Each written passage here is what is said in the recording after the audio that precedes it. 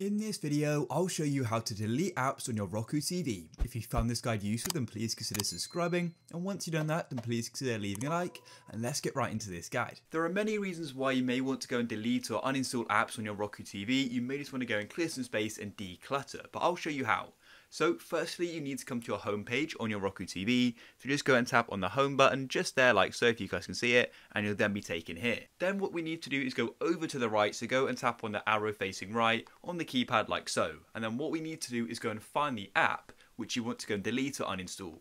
So in this case, the app I want to do is Paramount Plus. So once you've then highlighted the app like so, so it's got that white square around it, then go on to remote and the button you need to go and press is the asterisk or uh, star button just here. Go and click on it like so. And then as you can see, we get a load of different options for the app one of them being remove channel. So then what you'll need to do is use the arrows to go up to that option there and then go and click OK or select on it and then what you'll need to do is go and confirm your decision so go and tap on remove again. And as you can see it's now removing it.